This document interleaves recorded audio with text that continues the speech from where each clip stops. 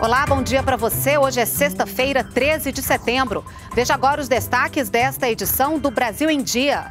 Começa o saque de até 500 reais do FGTS para quem tem conta na Caixa. As agências vão abrir duas horas mais cedo, de hoje até terça-feira, inclusive no sábado. Semana do Brasil. Domingo é o último dia da campanha do governo federal para aquecer o comércio com descontos e promoções. E veja também, presidente Jair Bolsonaro reassume o cargo na próxima semana e segue em recuperação da cirurgia. Fique com a gente, o Brasil em Dia já está no ar.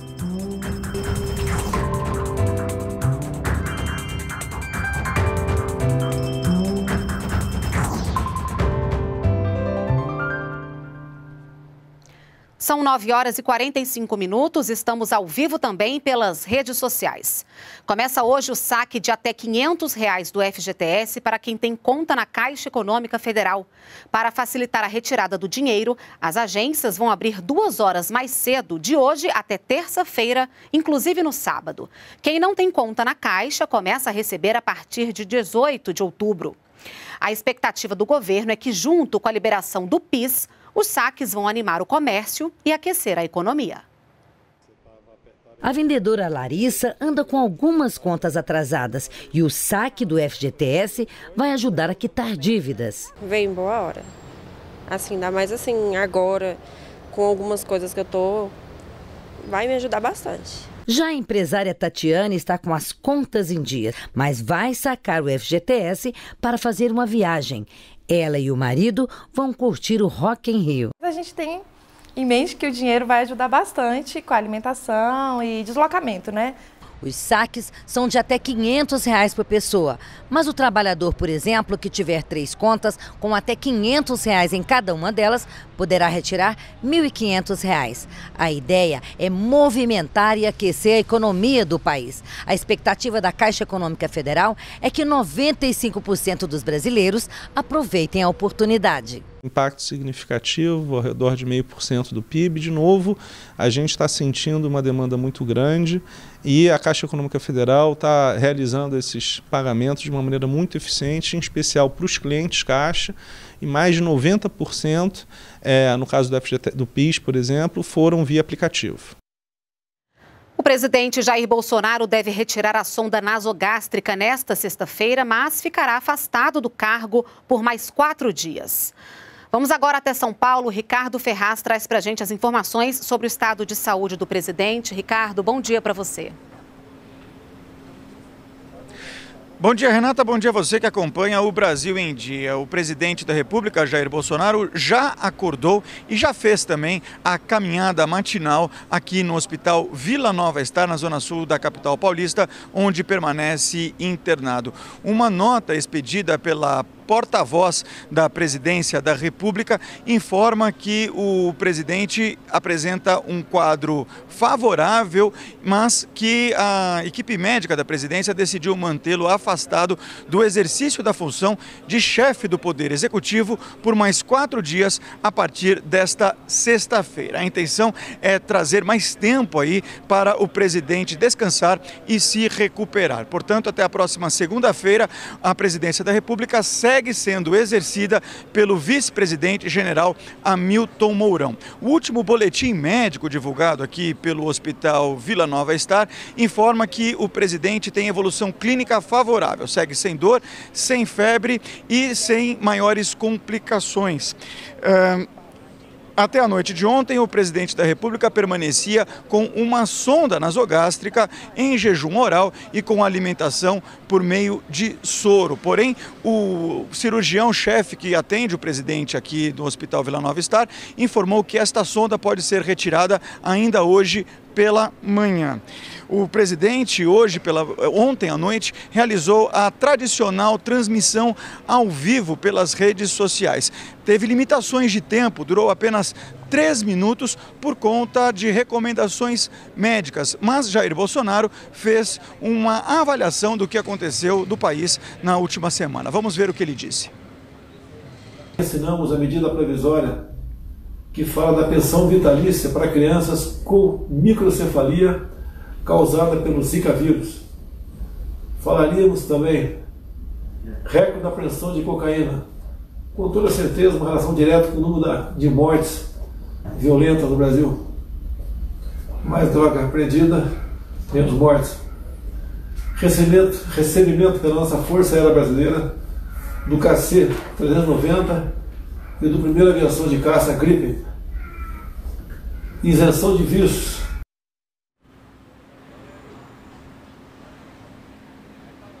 Logo mais às 10h30 da manhã, o porta-voz da Presidência da República, Otávio Rego Barros, fará uma entrevista coletiva e será divulgado também um novo boletim médico. A TV Brasil transmite esta entrevista coletiva ao vivo. Renata. Obrigada pelas informações, Ricardo. A Alemanha é o principal parceiro comercial do Brasil na Europa e os dois países buscam formas de incrementar as relações com foco na inovação. Esse foi um dos temas discutidos na Câmara do Comércio Brasil-Alemanha em Porto Alegre, que contou com a presença do presidente em exercício, Hamilton Mourão. Neste ano, só até agosto, o Brasil exportou mais de 3 bilhões e 300 milhões de dólares para o país. O Brasil vende para a Alemanha produtos como café, minérios e farelo de soja e compra medicamentos, partes e peças de carros e tratores e produtos químicos. Além disso, 1.600 indústrias alemãs atuam no Brasil. São Paulo é a cidade com maior produção industrial da Alemanha fora do país europeu. Durante a palestra, o presidente em exercício destacou a importância do Brasil aumentar a produtividade e o empreendedorismo para conquistar mais mercados no exterior. Ele também apontou a importância das reformas estruturais, como a nova Previdência, e disse que a Alemanha é um mercado estratégico para o Brasil. Inúmeras indústrias alemãs estabelecidas aqui no Brasil, né? então o que nós temos é cada vez mais aumentar essa corrente de comércio e, ao mesmo tempo, né, o cabedal de conhecimento, nessa né, era da economia, do conhecimento que nós estamos vivendo, que vem da Alemanha. Para o presidente da Câmara de Comércio Brasil e Alemanha, o maior desafio do Brasil é agregar mais tecnologia na produção e, com isso, ganhar mais. E a Alemanha pode ajudar nesse processo. A Alemanha é um parceiro estratégico na transferência de tecnologia, na cooperação de, de conhecimento né, e de eh, programas diversos que nós temos. Né. Os acidentes de trânsito estão entre as maiores causas de mortes no Brasil. No ranking mundial, o país aparece em quinto lugar, de acordo com a Organização Mundial de Saúde. Nesta quinta-feira, o Ministério da Infraestrutura lançou mais uma campanha nacional de trânsito. Na próxima semana, a mobilização deve ganhar força com a Semana Nacional do Trânsito, que ocorre entre os dias 18 e 25 de setembro. Prevista no Código de Trânsito Brasileiro, a semana ocorre anualmente e tem ações integradas entre a sociedade e o poder público. O ministro da Infraestrutura, Tarcísio Gomes de Freitas, destacou que só com o envolvimento de todos, o Brasil poderá apresentar resultados positivos. É um trabalho que passa por todos nós que começa dentro de casa, que passa pelo trabalho da PM, da PRF, dos agentes de trânsito. E todos têm o mesmo objetivo, e é por isso que vai dar certo. Nós vamos conseguir mudar, melhorar e fazer a diferença na vida de pessoas para que menos pessoas a cada dia sofram perdas e chorem as suas vítimas. E o número de homicídios no Brasil caiu mais de 21% nos cinco primeiros meses deste ano. As informações são do Ministério da Justiça e Segurança Pública. Vamos ao Rio de Janeiro saber os detalhes com a repórter Priscila Terezo. Bom dia, Priscila.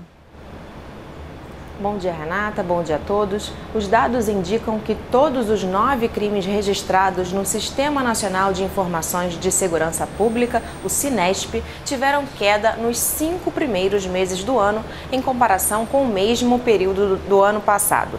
E a maioria dos números é bastante expressiva. O de homicídios caiu 21,3%. Os latrocínios, que são roubo seguido de morte, apresentaram redução de 23,7%. A queda nos crimes de estupro foi de 11,9%. O Cinesp destaca ainda a redução em 38,4% nos crimes de roubo à instituição financeira. Essas apurações vêm acontecendo desde março deste ano, com base nos boletins de ocorrência dos estados e do Distrito Federal, e são publicadas no site do Ministério da Justiça e Segurança Pública. Voltamos com você, Renata. Obrigada, Priscila, pelas suas informações. E o Ministério da Saúde decidiu antecipar em dois meses a campanha de mobilização contra o mosquito transmissor da dengue e outras doenças.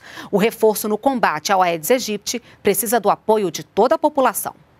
E você já combateu o mosquito hoje?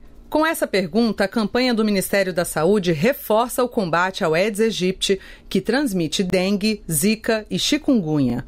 A iniciativa reforça o apelo à sociedade e a gestores de saúde sobre a necessidade de ações constantes. Qualquer lugar que acumule um mínimo de água é ideal para a proliferação do mosquito Aedes aegypti. O inseto coloca ovos em locais de fácil reprodução. Por isso, a prevenção é tão importante antes do período das chuvas, condição ideal para epidemias. É muito comum a gente ver as pessoas fazendo mutirões durante a epidemia. Lógico, precisa, precisa, mas se tivesse feito no cedo, com certeza o risco de epidemia seria muito menor. A prevenção é feita durante todo o ano pela vigilância ambiental. O trabalho é de formiguinha, casa a casa, porta a porta. A gente pede que a população receba bem o agente, preste bem atenção nas orientações que eles vão passar. Mas muitas portas não são abertas para os fiscais. Quem aceita a fiscalização reconhece a importância do trabalho. Acho muito importante esse trabalho do governo né, de educar as pessoas. Essa é uma convocação. A campanha publicitária usa depoimentos reais e de profissionais da área de saúde para sensibilizar a população. Mesmo sabendo o que fazer para prevenir, as pessoas ainda têm dificuldades de agir. O importante para as cidades, para os cidadãos, é pega essa informação, mas não a jogue fora. Transforma essa informação em atitude. Fica o recado, né? O índice de atividade econômica registrou uma alta em julho de 1,31% na comparação com o mesmo mês do ano passado. Porém, o índice apresentou queda de 0,16% na comparação com o mês anterior. Divulgado agora há pouco pelo Banco Central, este índice funciona como uma prévia do resultado mensal da economia brasileira. Até o próximo domingo, várias lojas do país estão com descontos e promoções. É a Semana do Brasil, evento nos moldes da Black Friday, criado para aquecer as vendas de setembro, mês também que marca o Dia da Independência. A Semana do Brasil foi proposta pelo governo para estimular o comércio nacional. Mais de 4.500 empresas em todo o país participam, oferecendo descontos, promoções e benefícios aos consumidores. Cerca de 100 lojas deste shopping, o mais tradicional de Brasília, aderiram à campanha com descontos que chegam a 70%. A mega promoção termina no domingo, mas ainda dá tempo de aproveitar. Os lojistas acreditaram, aplicaram descontos bem reais, legais, e é uma ótima oportunidade para o consumidor aproveitar e renovar sua casa, seu guarda-roupa. Essa publicitária veio assim que o shopping abriu e já estava cheia de sacolas. Aproveita, né, quando está em promoção assim, para a gente comprar as lembrancinhas que a gente precisa, os presentes para o pessoal. Até agora, as maiores vendas foram nos setores de perfumaria e de móveis. Esse consultor confirma os bons negócios e acredita que esse último fim de semana da promoção será ainda melhor. As vendas aumentaram 40% e tem dado bastante movimento e a nossa expectativa é que, que esse final de semana triplique as vendas. Esse estudante pesquisou bastante comprou o que precisava, mas já pensa em voltar no final de semana. Eu vou chegar em casa conversar com a minha esposa, né? Aí se ela quiser, a gente volta aqui e compra mais. O Brasil em Dia fica por aqui. Nos acompanhe também pelas redes sociais. Obrigada pela sua companhia. Ótima sexta-feira e um bom fim de semana.